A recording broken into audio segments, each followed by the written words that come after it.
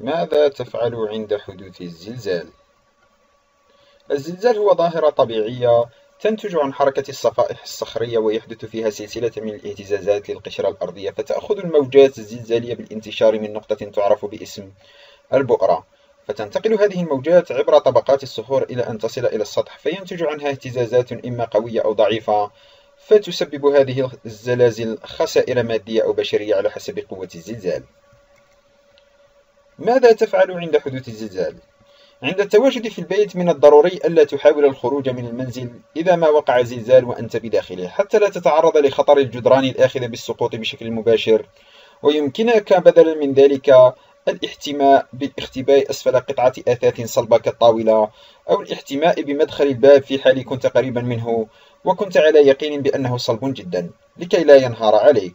لكن إن كنت بعيدا فالأفضل عدم الذهاب إليه. كي لا تصاب بالأذى من الحجارة المتساقطة في طريقك. قف بجوار حائط داخلي أو في زاوية الغرفة. في حال لم يكن بجوارك قطعة كبيرة وصلبة من الأثاث أو لم تكن بالقرب من مدخل الباب. وإن لم تتمكن من ذلك أيضا فانبطح على الأرض وغطي رأسك ووجهك بيديك أو بوسادة قريبة منك. وسيوفر ذلك قدرا قليلا من الحماية. ابتعد عن النوافذ كي لا يصيبك جروح أو خدوش من الزجاج المتكسر إضافة إلى الأقواس وغيرها من التفاصيل المعمارية لأنها أول ما يبدأ بالانهيار عند حدوث الزلزال. ولا تستعمل الكهرباء إلا أن تتأكد أن كل شيء أصبح على ما يرام. عند التواجد في متجر للتسوق مثلا وحدث الزلزال فعليك الابتعاد عن الرفوف كي لا تسقط عليك البضاعة. انبطح أرضا في حال كان المتجر مليئا بالناس واحرص على تغطية رأسك بذراعيك. إذا حدث زلزال وأنت في الشارع ابتعد عن البنايات والأشجار والإشارات الضوئية وخطوط الطاقة الكهربائية والجدران أو أي شيء يمكن أن ينهار ويتسبب بإيذائك.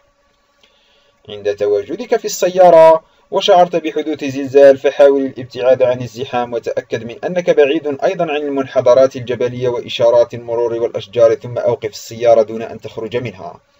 فجسمها صلب وسيوفر لك الحماية على الأغلب وحرص على عدم إيقاف السيارة أسفل جسر المشاة